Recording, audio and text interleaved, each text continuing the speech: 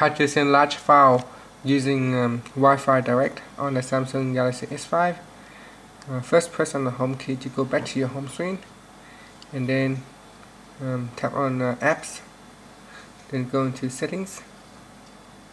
So choose settings. Once you're in settings tap on quick settings and then tap on Wi-Fi.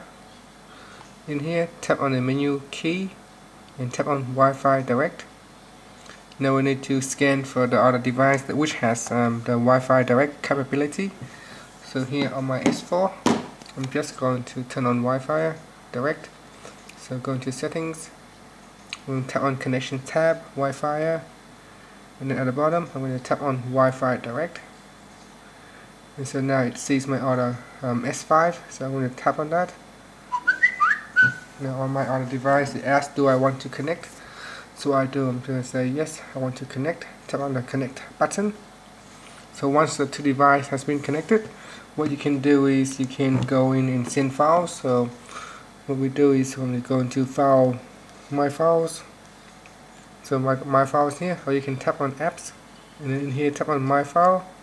Now you can browse for the files on your phone. You can browse through your device storage or from your SD card I'm just going to access my recent files up here. Then I'm going to send this um, video file. So what I do I'm just going to tap on that file.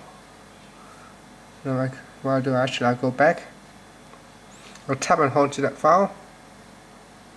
Now I can choose to um, share one file or multiple files if I wanted to. In this case I'm just going to um, select two and tap on the share button at the top here. And then from the list tap on Wi-Fi direct as an option. And then tap on the device that I want to send. And then tap on done. Now on my other phone it's going to show that it's receiving the files. So you can see how fast it is downloading the files. So here I have the file 164 megabytes and look at how fast it's downloading the files um, using the Wi-Fi direct. So if you have like a 1 gig or 2 gig um, movie files you can uh, easily using um, Wi-Fi direct to transfer files. It's just the fastest way to transfer files from one device to another. Then just press on the home key to finish.